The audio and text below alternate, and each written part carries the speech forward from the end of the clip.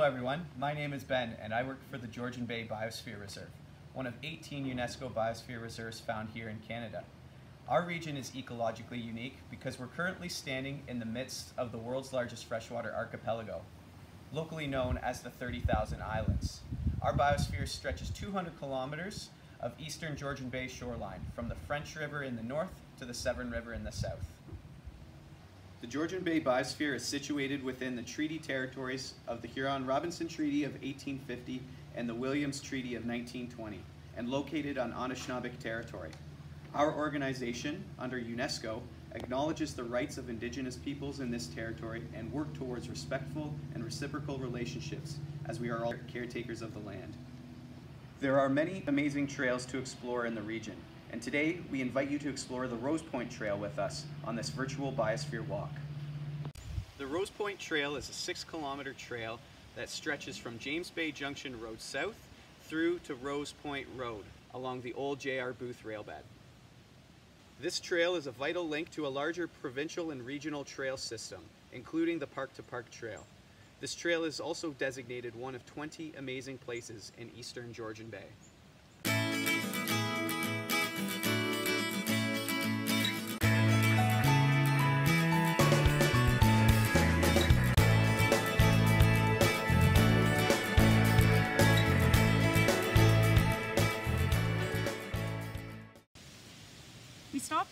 Patch of milkweed, and if you're ever walking past milkweed, take a look on the leaves because if you're lucky, you might find a caterpillar from a monarch butterfly, like this one here. Now, these caterpillars truly are very hungry caterpillars. A caterpillar like this can munch through a milkweed leaf like this in about five minutes. In fact, they're so hungry that when they hatch out from their eggs, they eat the egg case, and then as the caterpillar eats and grows, it sheds its skin. And that's something maybe you didn't know about caterpillars, but they do shed their skin. The reason why we never see shed skins from caterpillars is because after they shed it, they eat it because it's a great source of nutrients to help them prepare to turn into a butterfly. So here we have a very hungry caterpillar.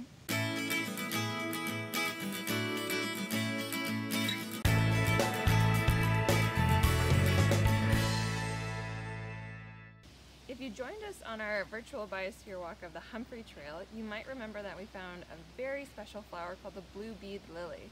When we found it in the spring, it was still flowering. But now we're here later in the summer and we found a different patch of blue bead lily on the Rose Point Trail and you can see that they've now gone to seed. Not only have they gone to seed and formed the blue bead where they get their name from, but you can see that something has actually eaten it. You remember we said it looks kind of like a blueberry, uh, but is not actually edible to humans. That of course doesn't mean that it's not an important food source for wildlife. As we can see here, something has clearly enjoyed a meal.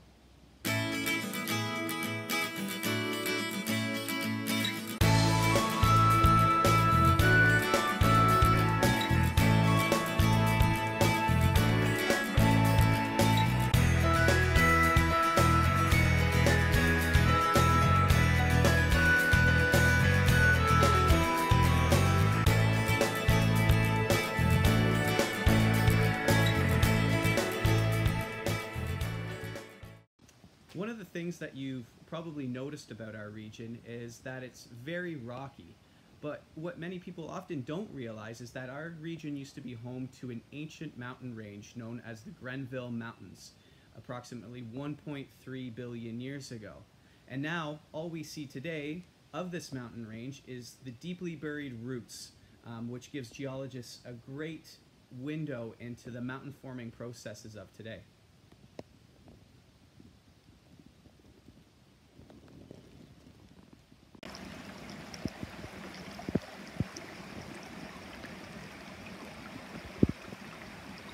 Along the Rose Point Trail, there are lots of wetlands, including this creek. And if you're at the edge of the wetland, you might want to stop and look for frogs. There are several species of frogs that you can find around here, but one of the most common species is called the green frog. Now, green frogs, despite their name, are not always bright green. Sometimes they can be more of a brown color, but either way, all green frogs are typically pretty plain in color. They don't have a lot of patterns on them. Now, I was hoping to find a green frog here, but I guess that frog just couldn't Kermit to it.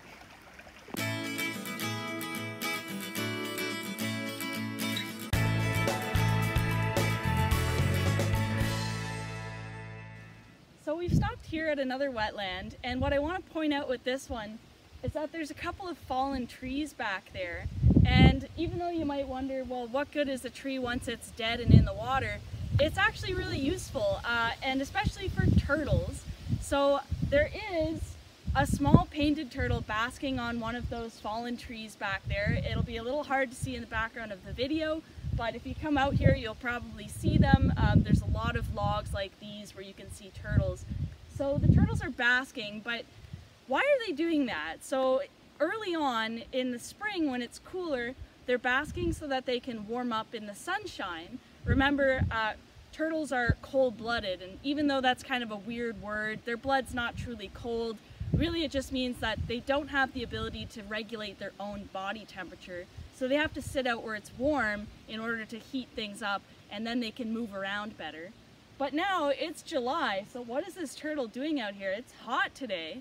Well, later in summer, turtles don't necessarily need to warm up, but they do need to let their shell dry out from time to time.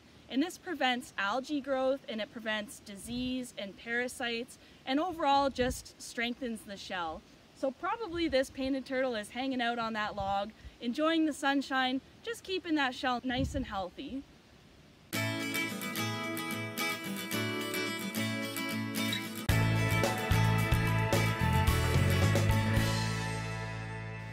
So we found another pretty neat plant on the Rose Point Trail. If you have a look here, you can see what's called Indian pipe very commonly. Other names for it include corpse plant or ghost plant. And when you look at it, you of course notice that it's completely white, hence the name ghost plant. Now, because it's completely white, you might not even think it's a plant. You could think it's some kind of a weird mushroom, but it's actually one of nature's weirdest wonders because it's indeed a plant but it doesn't have any chlorophyll. Chlorophyll is what makes the leaves of different plants green. It uses instead a symbiotic relationship with a fungus to, get, to gain its food. No chlorophyll, no photosynthesis. That means it can grow in really dark places, like some of these shady spots on the forest floor.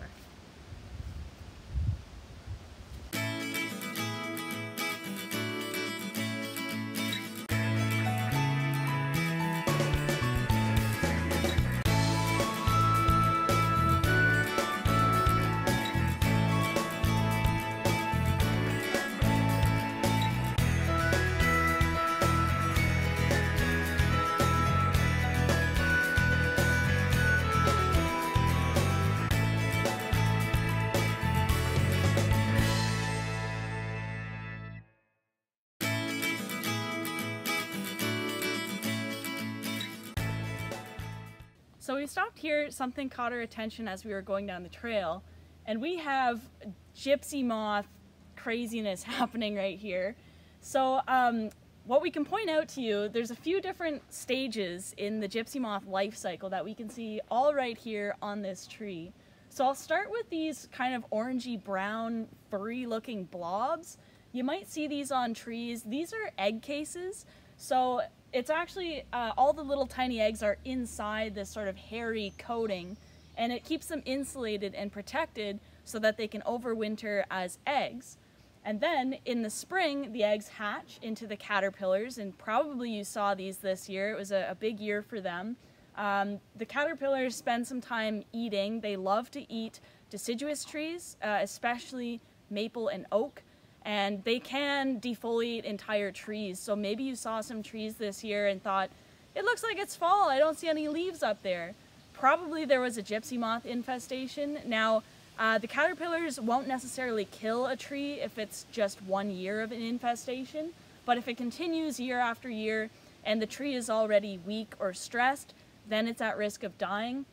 However, for the most part, uh, outbreaks just happen, they're usually just one year and then it dies down again. So we have the egg case. We have here, these are uh, the case that the, the caterpillar was pupating in. So it was hiding in here and developing into a moth, and then they break out in, and they are a moth at that point. So we have some moths here. They look kind of whitish. And so these are all female gypsy moths. The females are a light, sort of light brown or white color. The females stay very close to where they've come out of their cocoon. And so there, there, are a few females here. There's also several cocoons, so probably these females came from this tree. Uh, the males, on the other hand, are a little bit smaller. Um, they're more brown in color, and they fly around way more. So if you've been walking in the forest and you've had like a snowstorm of moths, those are probably male gypsy moths. They fly around, they find the females, and then they mate. So again, we have the female gypsy moth, we have the old uh, case where they had the cocoon, and we have an egg mass here.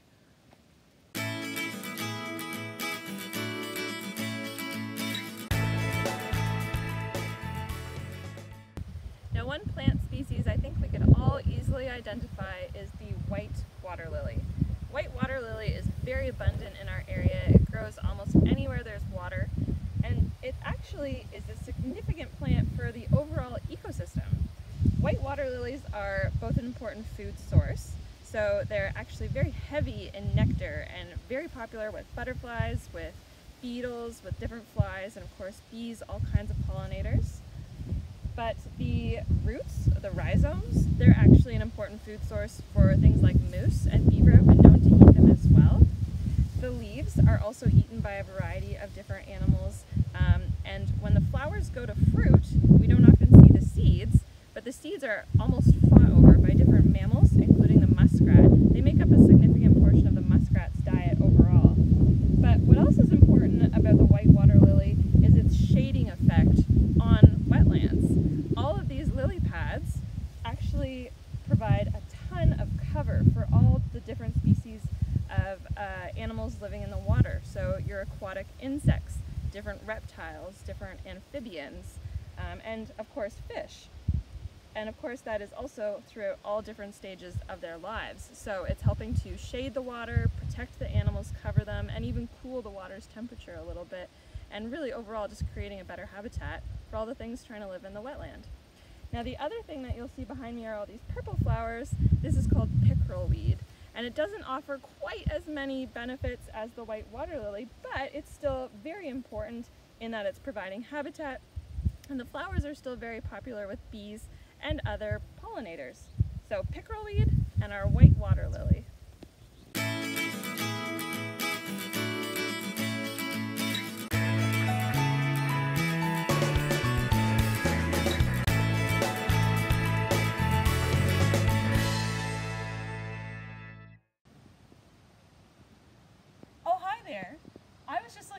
Birds. Even though it's no longer spring, we can still see birds, even if we don't always hear them. A couple birds that we saw today on our walk on the Rose Point Trail include turkey vulture and broad-winged hawk. Now the turkey vulture is one that maybe you've seen before, but maybe you don't know much about it. Those are those birds with long wings, big black birds, and they just soar through the sky. A really easy way to learn to identify them is when they're soaring, they hold their wings in a V shape, and you can remember V is for vulture, so turkey vulture.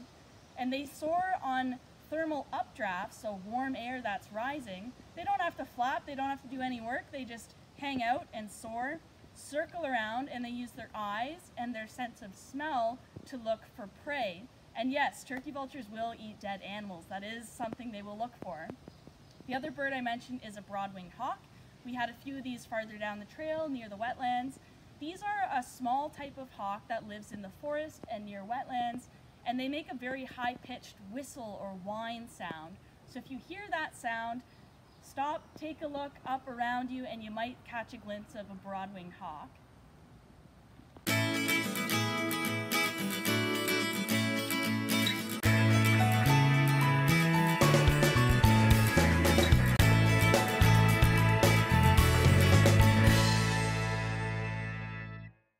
Thanks for joining us on this virtual biosphere walk.